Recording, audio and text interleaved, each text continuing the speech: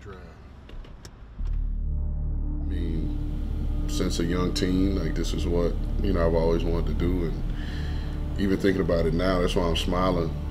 Like this is the culmination of all those Athlon magazines, you know, Street and Smith, and you know, legal pads of trying to be a draft predictor. The goal was not only to get in the chair, it's to stay in the chair. And so, yes, I've achieved that goal. I'm in the chair. But now it's, I, need to do everything else to stay in the chair. You know, we have to evaluate everyone um, and know where you know where we can make ourselves better and give ourselves the best option to put the best 53 on the field. That's why I'm here um, because Miss Amy sees me as a collaborator. So we're here to collaborate. We're here to build this thing together. These people on the front row just confirmed to me that this is the place that I wanted to be.